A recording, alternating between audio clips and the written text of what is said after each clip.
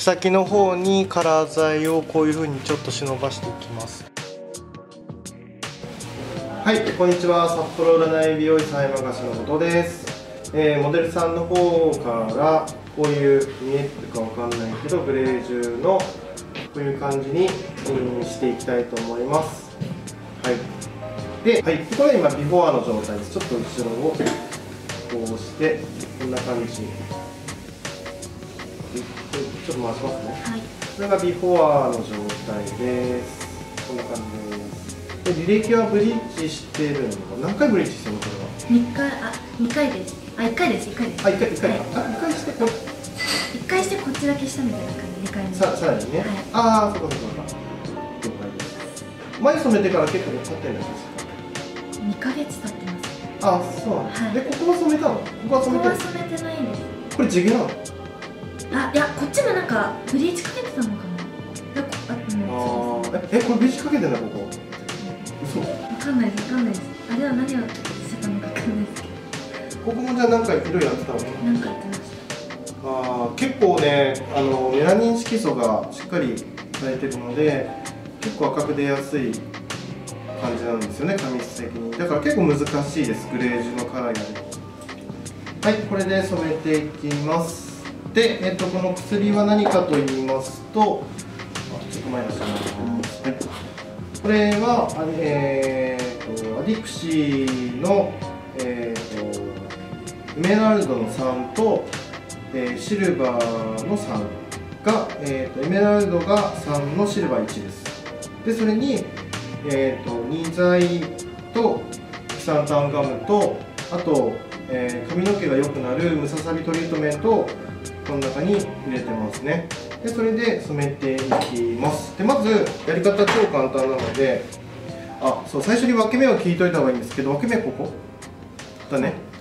はい、これ聞いとかないと後でこのまま同時進行でメッシュを入れますので後でぐちゃぐちゃになっちゃうとあれなので最初にモデルさんの分け目を聞いておいた方がいいですね。これでいいですよね。はい、はい、で、えー、この状態で普通に根元ごめんちょっと冷たいけど、はい、試してください、で根元からやっていきます。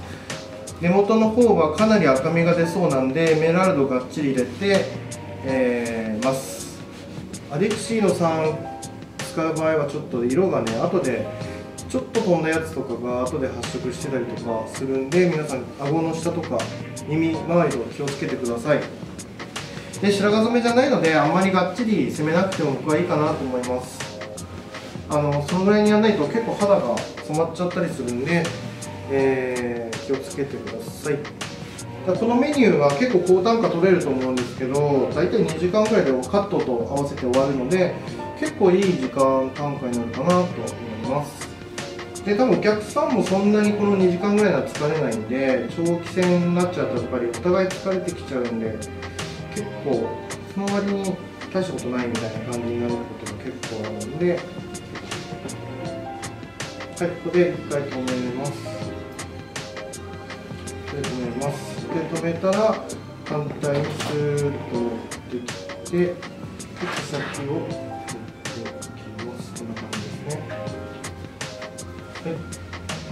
はい、で今度は表面の方ちょっと近づいてきたんですけどここで残り3センチぐらいなんで、えーと、ここも表面を5ミリから1センチぐらいですかね。1センチ捨てます。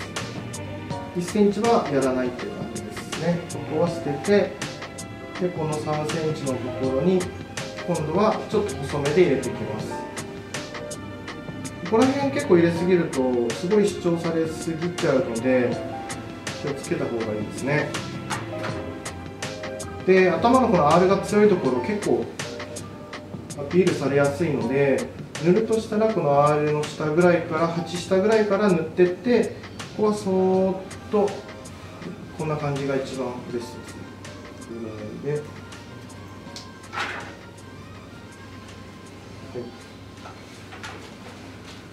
で顔周りがちょっとないから顔周りのところをちょい入れます。ちょっと細めがいいです。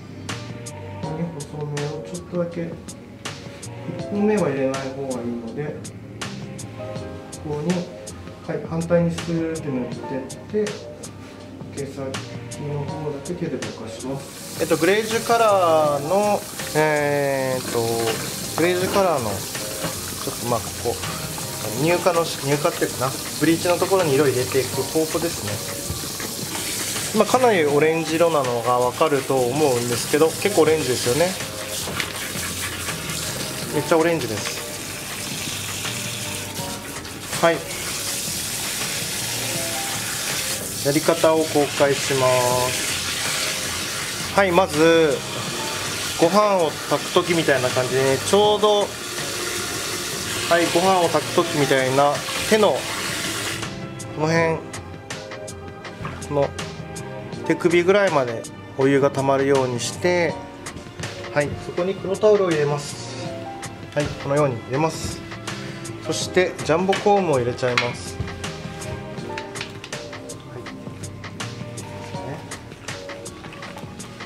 でコーミングをしていきます。で今どういう状況かというとえっ、ー、と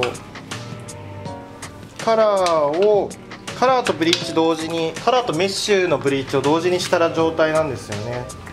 はい。でグレーズのカラーをしたかったんですけど全体ブリーチするのめんどくさいんでまああの全体ブリーチしないで簡単にできる方法で今日はやってます。これでもね十分かっこいい感じに仕上がるのでで手の手首まで水をためお湯をためたら、えーと、タオルを使いながら乳化をしていきます。はい。でカラー剤は3トーンの結構暗めを使ってるんですけどその理由がこの辺で分かってきます。乳化する時にやっぱりそれぐらいの何ていうのかな。3トンぐらいがちょっと必要になるのでで今日辻屋さんっていう方から、えー、ちょっとサンプルをいただいた辻屋辻屋シャンプーをちょっと今日は使っていきたいと思いますね。これ今辻屋さんのシャンプーです。なんかトリートメントド S トリートメントみたいですごい使いやすいですね。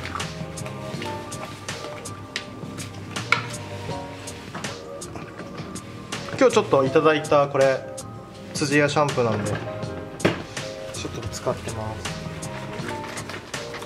でシャンプー入れながらにあのトナーしていくんですけどあごめんなさいね。先の方にカラー剤をこういう風にちょっと忍ばしていきます。でこのオレンジ色を取る感じに取れるまでちょっとやっていきますね。で残液があるんですけど。はいこのように残液残しといて毛先がしっかりブリーチ剤取れたらこの残液のところに突っ込んでやっていきます。こんな感じですね。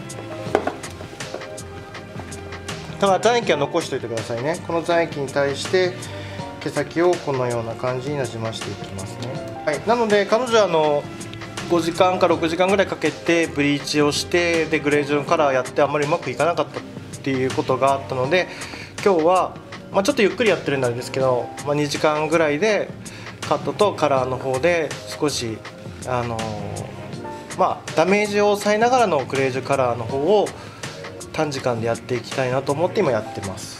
はい。で今毛先の方に希望色が入ったらそこで終わりっていうような感じになりますね。はいこの黒タオルを使いながら乳化をしていきます。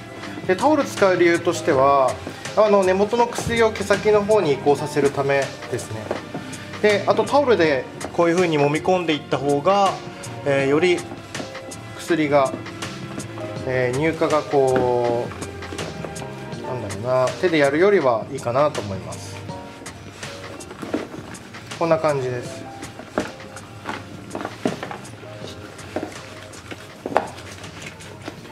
かりなじましていきます。結構ここは時間かかりますね。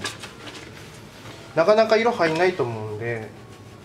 えー、彼女の場合結構メラニン色素が結構強くて赤く出やすいので結構難しいモデルさんの髪質かなと思います。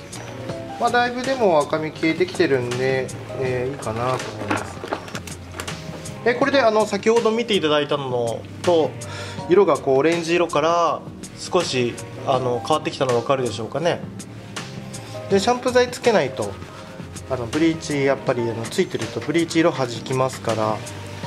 はい。でも結構あのムササビのトリートメント使ってるんで毛質はかなりあのー、結構こういうグレージュのハイトーンやってますけど結構いい線毛先は髪の毛自体は悪くないかなと思います。ムサムササビトリートメントかなり効いてるんで。はい。ああもういいね。これぐらい。こんな感じ。これでもういいぐらいですね。ちょっと時間個人差があるんですけどあのー、早くできる場合もあるし早くできない場合もあります。これはもうわからない。まああの濃い色別に作っといてトナーでやってもいいですけどまあ、ナチュラルに仕上げたいのであえてそこは同じ色でやってます。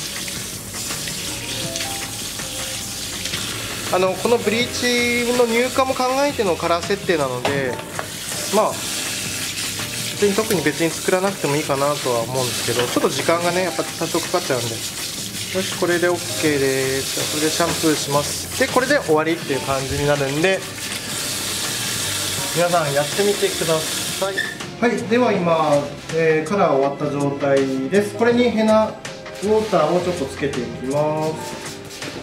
ヘナウォーターをですね。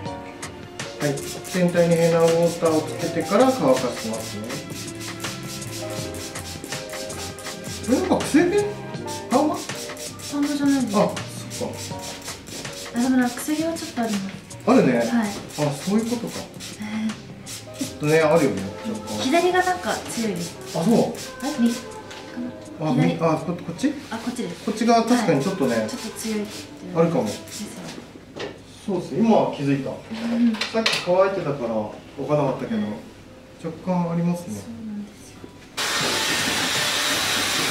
電話ちょっとこっちだっけこっちです。ここだっけあこっちだあこっちです。こっち？はい韭菜哦。